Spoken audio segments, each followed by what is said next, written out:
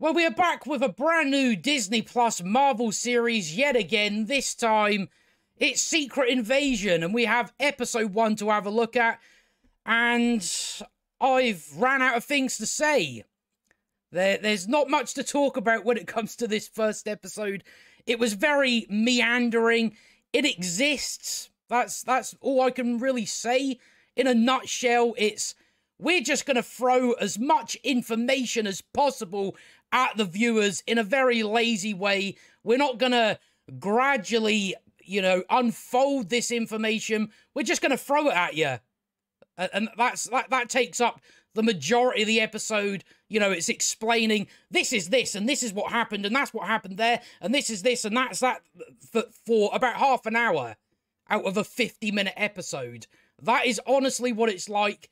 You know, again, you have to, when it comes to exposition such as explaining what's going on, you have to do it gradually.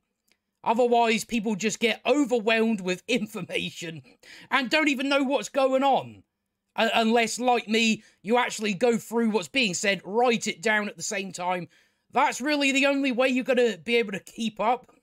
Because it's just, ah, we can't think of a, a compelling way to do this. So let's just go, here's some information. We just dump that on you. Fuck off.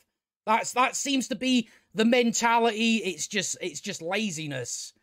As far as uh, as Samuel Jackson, as as Nick Fury goes, uh, you, you you can probably guess what happens in this show. Uh, he is disregarded as nothing more than an old man. He's useless. That's that's what people literally say to him. Uh, and we don't find out how he got to this place. We, you know, we don't find out. We're told that oh, I had a, I had a crisis of faith. Right. It would have been good to actually see that and see how you got to this point of you're not quite right. You know, that's what you need to do. That's the way I would have done this first episode. You show what Nick Fury has been doing since the last time we left him. And then when he gets the call, because we of course have to do the invasion of the Skrulls, then that's then you transition into what you want to do in this show. That's how you should have done it, not just go have some fucking information and piss off and be happy uh, that we wasted this money on this show. But let's go through some of it. I will try to be brief because, as I say, there is there's not really much to talk about. It's a show that exists. Uh, and as I say, I get the feeling it's going to fall off a cliff once we get into the second episode, the third episode. Uh, I, you know, it's just a really boring show. From what I've heard, I think I think critics have seen the first two episode episodes, and I think they say said a similar thing.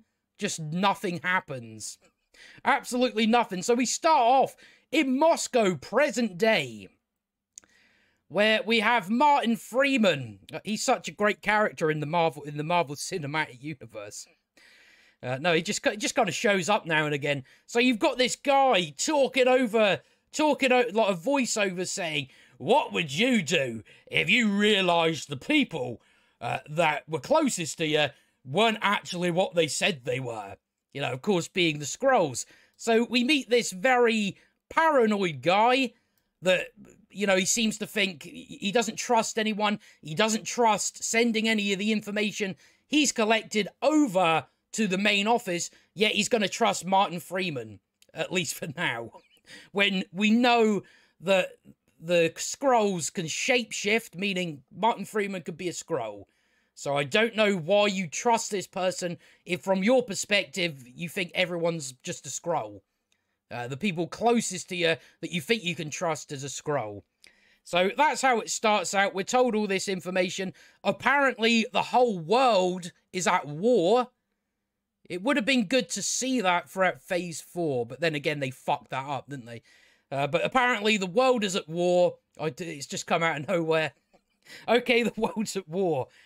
Um, and then, uh, you know, it becomes very apparent, you know, you get exposition that I, I guess is intended to treat the audience like we're stupid.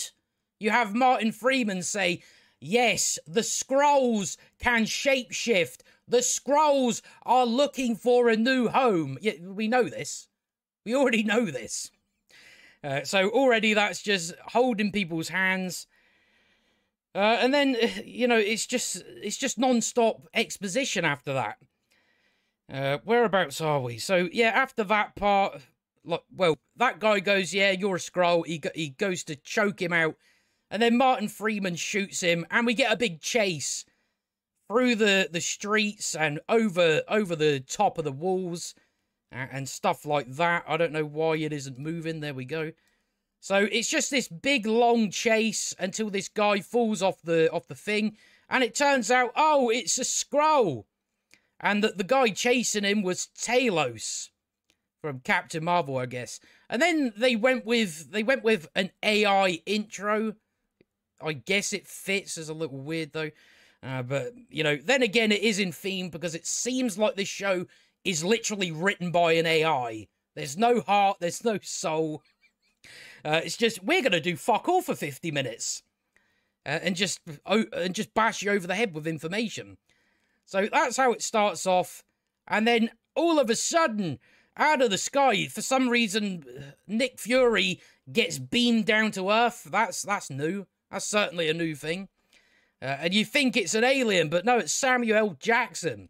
He's back, only to be an old broken man out of nowhere and we're not going to get to see how he got to that point. Uh, we're just going to have people saying, you're old. and that, that's, that's all we're going to do with Nick Fury. He's not going to be in character whatsoever. He's not going to know about things. When he's Nick Fury, generally he knows what's going on. For some reason, Agent Hill hasn't relayed this information. There's a reason for that because we need to come up with a lazy way to get this information to the audience, and we're not going to give them any time to process it. You know, we're not going to do it in a very natural way. So that's that's why Nick Fury doesn't have a clue what's going on. Doesn't have a clue. So he's back down. He gets picked up by Agent Hill, and then he goes straight up to Brit to talk to Talos. Talos said, "Oh, these plants, you know, they they adapt to uh, they they have adapted to Earth. And then he goes on to explain, overly explain in a very boring way, that uh, since we last met, I was kicked out of the Skrull Council. It's now Kraven or Gravin or Gravik that has taken over. And he's very upset with you, with Samuel Jackson, because you left you left Earth when you were supposed to be finding us a new home. And he's taken issue with that, and there's now this resistance, what they're resisting, I, I don't know. It's not their planet, so I don't know what they're resisting. So that's that's the situation. You know, I could go it further into detail, but you know, get it bored me. It would probably bore you. Uh, I don't recommend this show. Uh, I would recommend the comic book, and I even read the comic book. But I've got a feeling that would uh, that would be well more worth my time to just go and read the fucking comic rather than watching this shit. You know, it's it, you know again, it's not even necessarily shit. It's just that they don't really do anything to say say anything about it. It's very just again, it's a show that exists, hasn't done anything yet, hasn't done anything to impress, hasn't done anything to just laugh at, hasn't done anything. It's just it's just a straight line. That's that's all, a straight line that doesn't move. That's probably a better way to put it. So yeah, that's so, that, so that's essentially the information we get here. And then we go down into the room with Cobie, Kobe Smolders, and then we get more fucking information thrown at us. Uh, and I was just like, we're, we're 15 minutes in, and we are still doing exposition in a very bad way. In a very bad way. So we're explained that Gravik is now the he's now on the council of the the newest member of the council. He preys on the collective rage of young displaced Skrulls. they they go into well, where is he? Samuel Jackson says because he's not up to speed on any of this, even though he should be. Uh, he should he should already know all this information, but we have to have it. No, he doesn't know anything. He doesn't know anything. Um, so so they they know well we're in Ru- we're still in Russia. They know that this this guy here is in Russia. Uh, and then Cobie Smulders again. It's it's not even it's not even like like people having a conversation. It's just I'm gonna say this, you're gonna say that, and it's there's not really much of a connection. There's no connective tissue to the conversation going on. It's like it's it's like three people having separate conversations. So Cobie Smulder goes into uh, Skrulls are immune, uh, immune to radioactivity. Right, I'm pretty sure Nick Fury knows that considering he has spent time, as he says in this episode, 30 years of experience, hands on experience with the Skrulls. So I think he already knows that. Already knows that. I'm pretty sure the Skrull sitting across from you already knows that. So this this isn't new information, maybe to us, but not to the characters you are sitting around with. So it makes no sense for you to say that.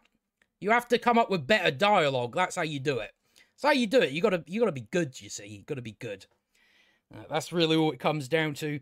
So they're like, so that means, uh, uh, uh, well, she says, and Russia has the most abandoned nuclear power plants in the world or, or on Earth.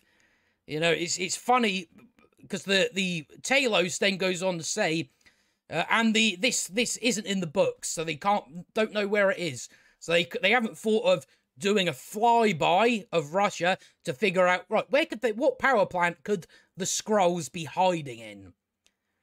They haven't done that. They haven't went oh Samuel Jackson's been up in a space a spaceship that came out of nowhere. Uh, we're just going to establish that now that there's a big massive space station, which I believe is the space station uh, we've seen in the Marvels trailer. So he's like, he, he, you know, you know, you must have satellites, things like things of that nature, where you can figure it out. Again, you can see a power a power plant. You can see it. You don't you don't need to go. Oh, it's off the books. Oh, right. Have you not visited any? You not thought maybe we'll go and check them out. You know, we, we we come to the Skrulls later on, and they don't really. They're not really hiding. It's like it should be very obvious where they are. Um, so Nick Fury, of course, not knowing what's going on, uh, they well, they're acting as if this is how Nick Fury would be. He wouldn't know anything when when he would because he's Nick Fury. Uh, again, if you want to have this make sense, what you have to do is you actually have to show why why he wouldn't be up to speed on any of this information when that is you know generally how he is, how he operates. He knows everything. He's always he's always about 10 steps ahead of everybody else. So if you want this to make sense, you have to you have to show us. You have to show us. Maybe you can tell us if you do it in a very compelling way. Uh, but you can't just say, I, I, I don't know, he, he had a crisis. And that's that's about as far you, as far as you go into it. So so then Cobie Smulders goes on to explain that Agent Ross, Agent Ross's imposter was covering up schematics for a dirty bomb intercepted by Prescott, the mental guy at the start. Uh, he believed there was new a new radical group called Americans Against Russia, which he believed was a Skrull front for a terrorist attack. Uh, and then Samuel Jackson, he, he doesn't know know nothing, you see, even though he should. He goes, "Oh, what? They're trying to start a war with Russia." Yes, that's what I would pull from what what Agent Hill just said. Fucking hell, you're not very bright, are you? Even though, again, you should be. Uh, he's like, he's gonna, he's gonna use this, or uh, use this. What does he say? He's gonna use this bomb to do it. So it's just him asking questions. You should know it. Uh, does he have materials for that? We find out there was a weapons cache in Kazakhstan where Borat lives. Uh, I, I might as well go and watch fucking Borat. I'd, uh, honestly, be better, better time spent. So yeah, that's what happened. So they've got the material. I don't know why you'd need to go to fucking Kazakhstan for a dirty bomb. I, I don't know why you'd need to go there to get that. You you can make them, but you know whatever. Um.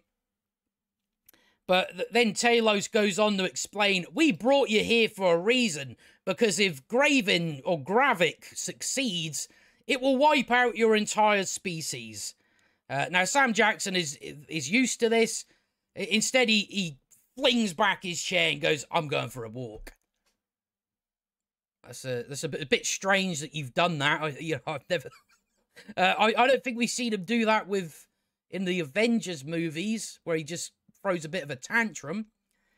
Uh, but he goes for a walk, even though, you know, this is very important. But hey, go, go and walk off. Go and walk off. Always a good plan. So that's so we've had a load of information. We're now 15 minutes in. It's just been full on exposition. Nothing has actually happened yet.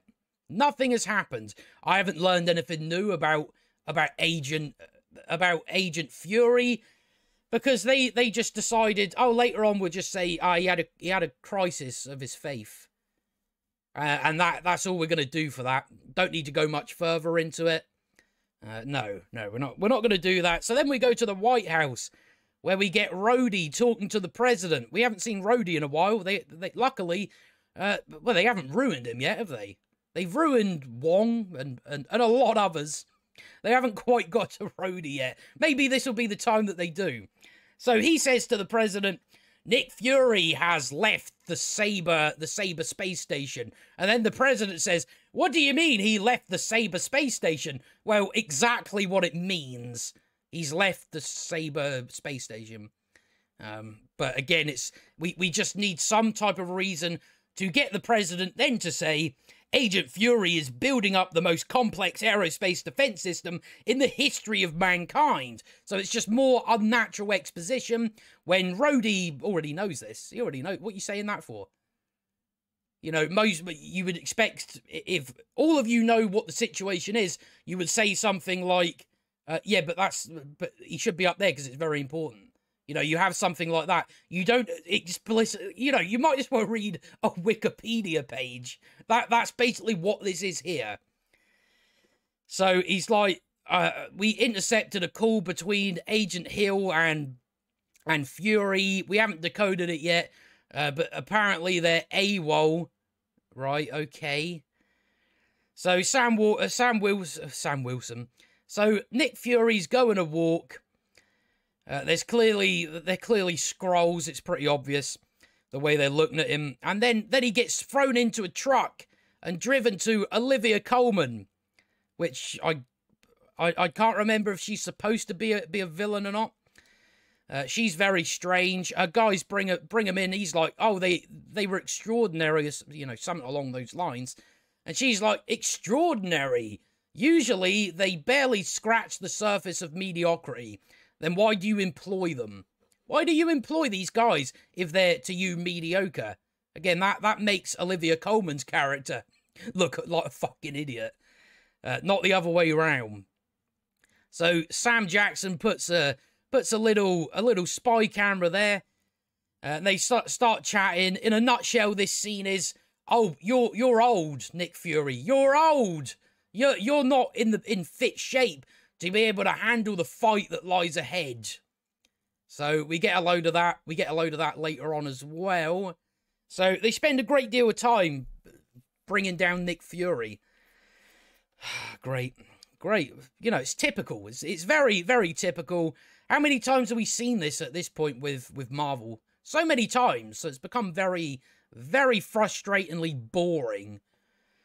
Uh, oh, we got another. We got another man. That's, he's he's, an, he's just an old fucker now. Useless. What use is he to the situation? It's fucking Nick Fury. It's Nick Fury, and you're you know you're trying to bring him down like that. Uh, so yeah, basically the conversation is that well he asks uh, about the cache in Kazakhstan. That's what he that's what he he's trying to find out about. Um yeah, do you know about the heist in Kazakhstan? That's that's what what he says. Uh, and she's like, the fact you don't know tells me a lot about this new old Nick Fury. What? what? Again, we, we just we just keep being told, oh, he's different. He's different. All right. Uh, why is that though? Are we are we going to get to see that? Maybe a flashback?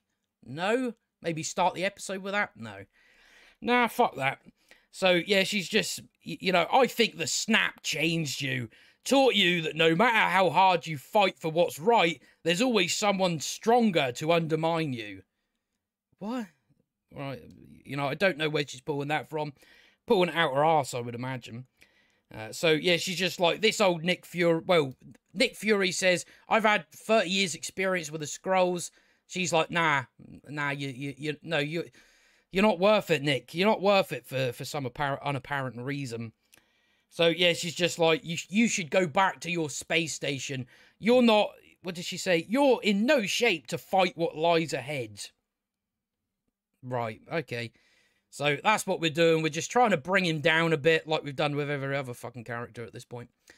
Um, so nothing new has changed. We then go to this guy walking to the gate. This is the Skrull compound.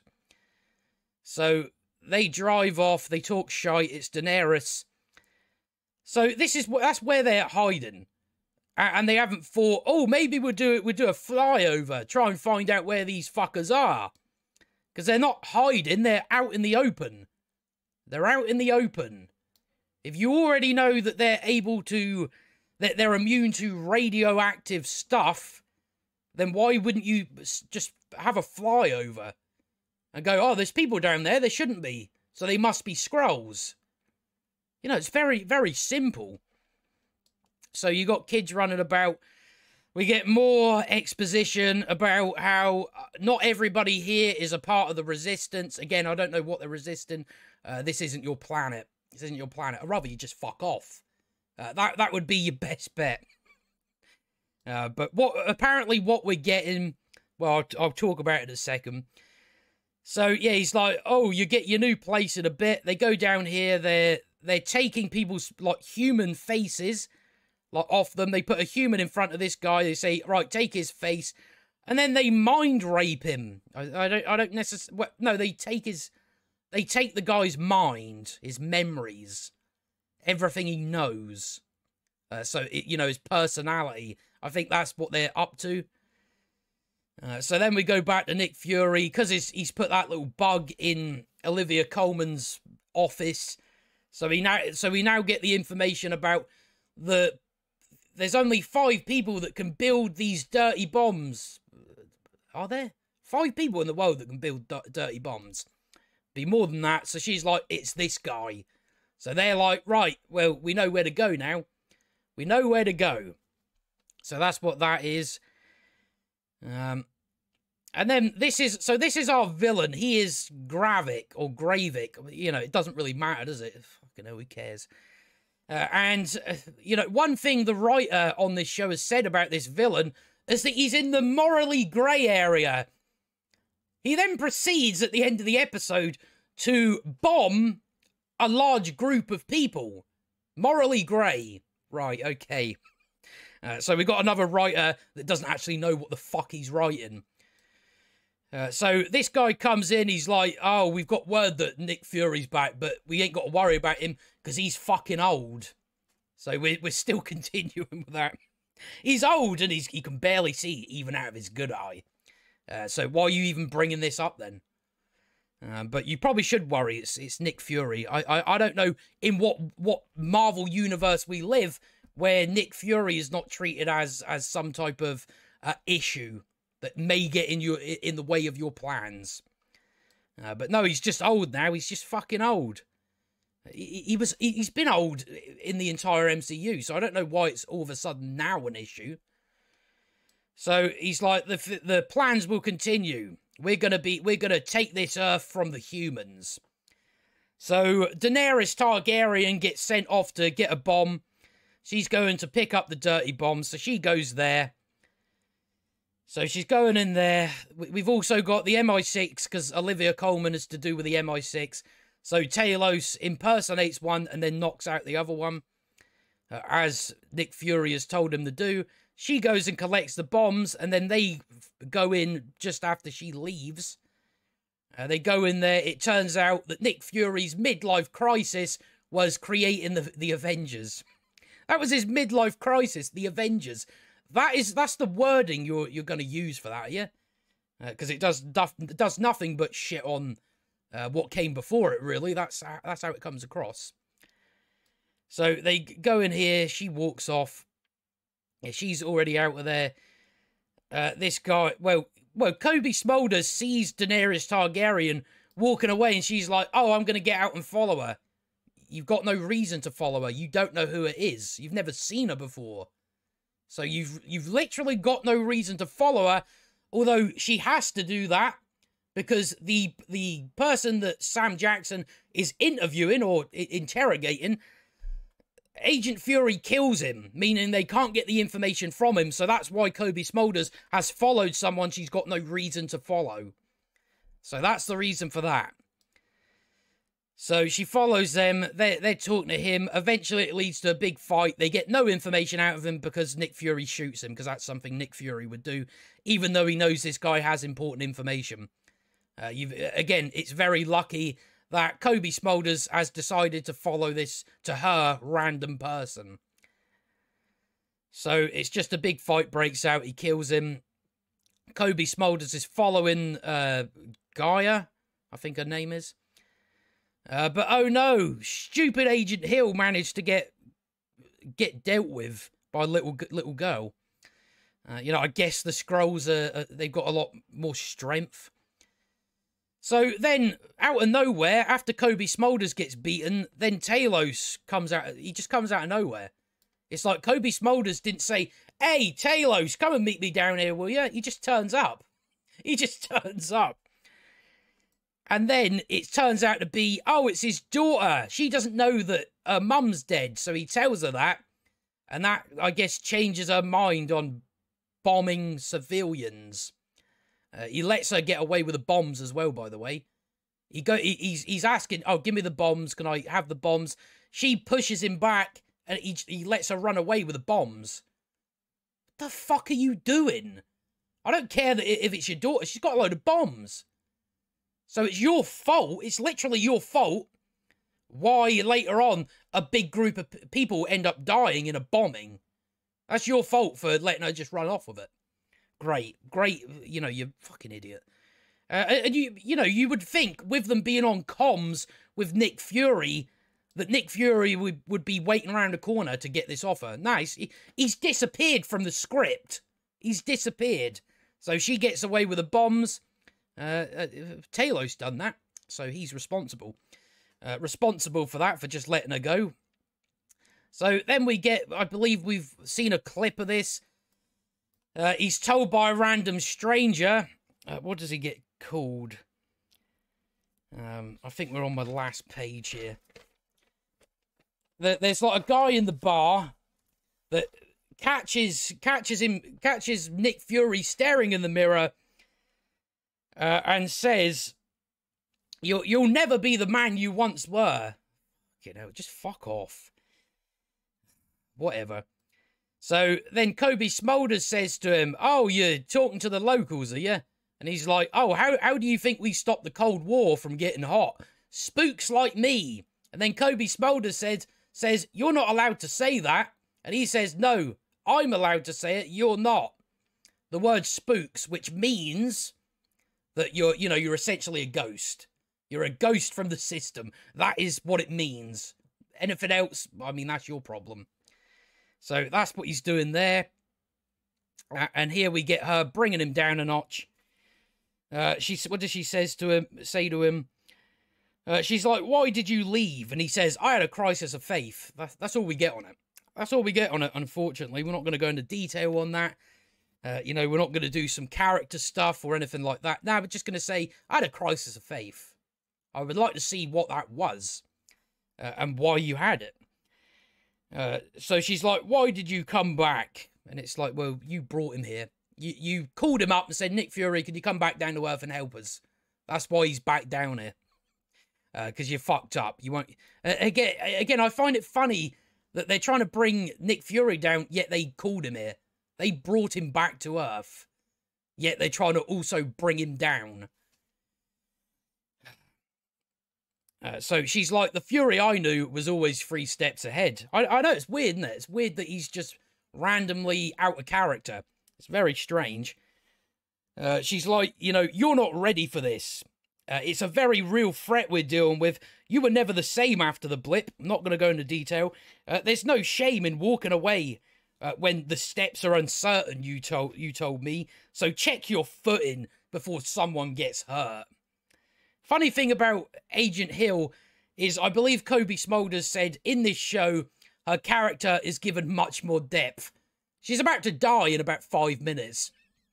And this is what they've done with her. There's no depth, no depth. She's just slagging off Nick Fury for no good reason. Uh, I mean, Nick Fury should really fucking backhand her for what she's just said. Um, so yeah, that's what she's like. Uh, give her more depth, yet dies at the end of the first episode. Great. So he's reflecting on when it when the blip happened and stuff. Uh, she's t- Daenerys is told, "Good work. Uh, you have taken over the Bravosi." Uh, so then it turns out she's meeting up with Talos, and they have a conversation. She tells him, uh, you know, again, it's it's just kind of lazily done where she switches sides. You know, she's on. She's originally on the team that's going to bomb a load of people. I mean, that already says a lot about you. Uh, her dad then tells her, "Oh, you know, you went and worked to the with the your mother's killers." So that so she's like switch side again. You can do a lot more with that. You don't just have it. Uh, oh, I'm on this side now. I'm on this side. You know, you can go into a lot more, uh, add a little more to it. So they find she says, "I'll I'll paint the bags when I go and do the drop off to get it to the place where it's going to explode. Uh, I'll paint it in infrared." so you you can watch and see uh, what bags what bags uh, like the bombs are in, so you can follow uh, as as it goes from one person to another. So that's what we find out there, uh, and that brings us to the next day where they're keeping an eye on her. So there she is there. You see in the thermal, if we can see it. Uh, uh, so that that's the thermal spray she's put on it, so they can keep track of them.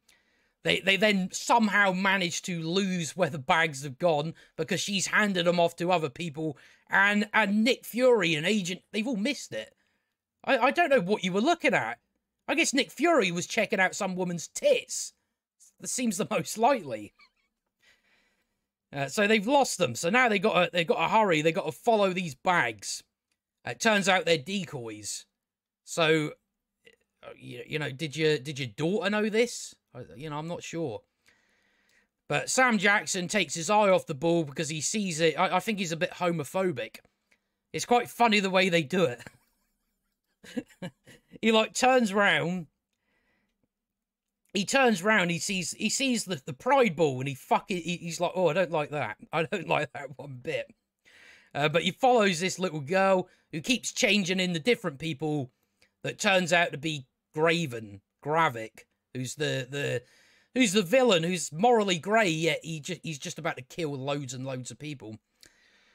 So he keeps following him. You're taking your eye off the ball here, Sam. Taking your eye off the ball. So they yeah, they that's when they find out, oh, they're decoys. And then this guy, you know, Nick Fury has the opportunity to shoot him, so just fucking shoot him.